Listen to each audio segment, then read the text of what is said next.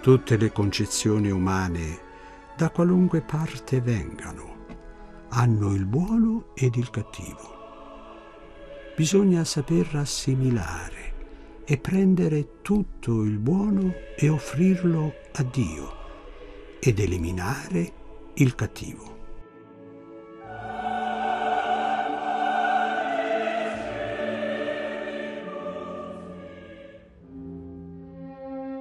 Pace e bene a tutti quanti voi, amiche spettatrici e amici spettatori di Padre Pio TV. Oggi mm, incontriamo un pensiero di Padre Pio che è preso dal volume di Alberto Delfante per la storia Padre Pio da Pietrelcina. E mm, in, questo, mm, in questa riflessione Padre Pio ci eh, dà un segreto per vedere crescere insieme al modo in cui Gesù spiega nell'Evangelo il grano buono e l'erba cattiva, cioè la zizzania. C'è sempre un momento in cui questa erba cattiva potrà essere eliminata. Questo momento provvidenziale lo conosce chiaramente il Signore non spetta a noi voler uh, da subito o con uh, ansia o con uh, premura eccessiva voler separare mm, tutto ciò che ci sembra buono da quello che invece è il prodotto di un seme cattivo. Ascoltiamo questa riflessione di San Pio. Tutte le concezioni umane da qualunque parte vengano, hanno il buono ed il cattivo.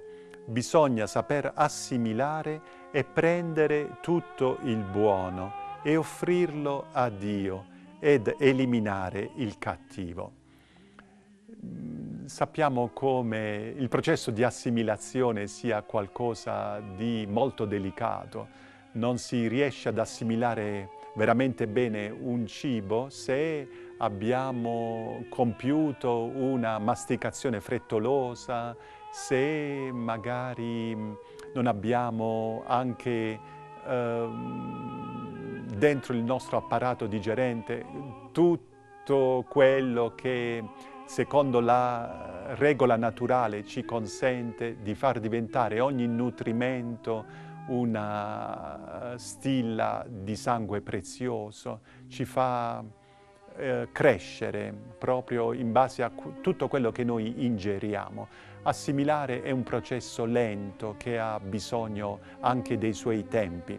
Padre Pio prende proprio questa parola per indicare la necessità di nutrirci di tutto quello che a noi eh, sembra buono, che potrebbe essere anche una bontà oggettiva, una bontà riconosciuta, generalmente accettata da tutti, perché in questo senso è importante avere una capacità di discernimento, il senso buono di chi comprende come fare per eh, sezionare, per separare anche eh, l'elemento negativo, l'elemento cattivo.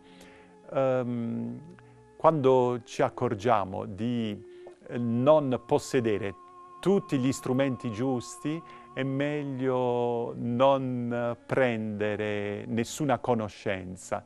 A volte noi ci impregniamo di conoscenze sbagliate, anche solamente per curiosità proviamo a frequentare certe persone, certi ambienti, le con, le con, Padre Pio le chiama le concezioni umane, che sono insieme sempre in qualunque mm, ambiente siano mm, cresciute, proliferate, portatrici di bene e di male.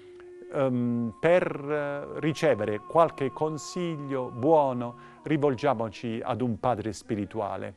Chiediamo a qualche persona fidata uh, se può venire in nostro aiuto.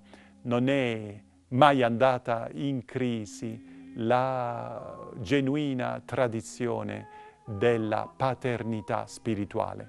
E Padre Pio, che ha avuto una schiera numerosissima di figli e di figli spirituali eh, ce ne offre un esempio concreto. Buona e santa giornata a tutti quanti voi.